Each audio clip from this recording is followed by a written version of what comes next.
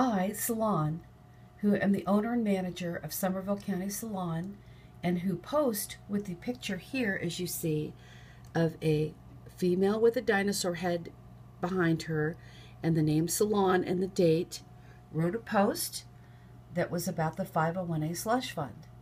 I want to show what the difference is between a screen capture and a screen scrape. Notice I'm looking right now at the actual internet page. You see the design elements around this? There's a border around the post. My picture's positioned in a certain place. There's other pictures on the page that are in certain locations and so forth. So here is what a screen capture looks like, which is done by doing a control print screen. Notice that it looks exactly like what the page does. Things don't move in any way, and so you're getting essentially a visual representation of exactly what a page looked like at a given time. Now let's see what a screen scrape looks like. To start with, when I first wrote this post, I didn't have what's called an overtitle, which was the overtitle in red that you see up here. So we're going to start by doing a screen scrape with this. So now I have selected this page. I'm going to say copy. I'm going to come over here to Word and do a paste. Notice that when I do this, the pictures are no longer positioned in the same way that a screen capture is, and the picture is gone. My avatar picture of me with the dinosaur is gone. Why is that?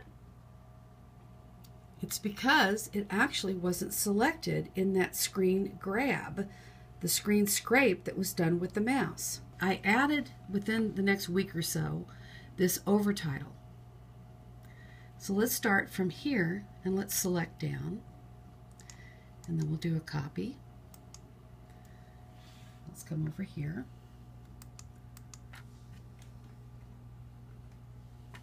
And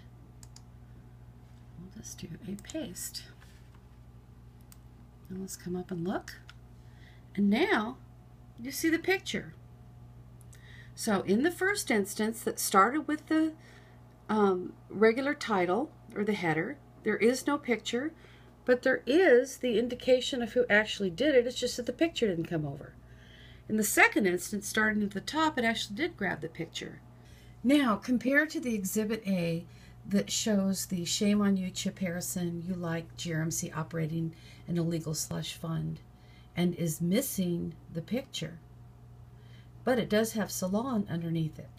You can clearly see from this picture here that this is not a screen capture, but a screen grab. In this second instance, you can see the picture where it does show that they started out from my overtitle, why would Andy would want, etc., which then did grab the picture and put in the information.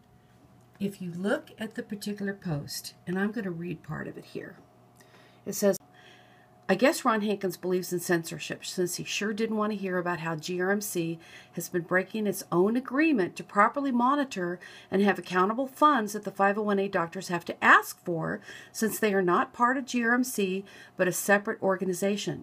Don't believe me? Go watch this video and see Mr. Hankins nodding his head like a stuffed dog in the back car window while the auditor explains just what the 501A is.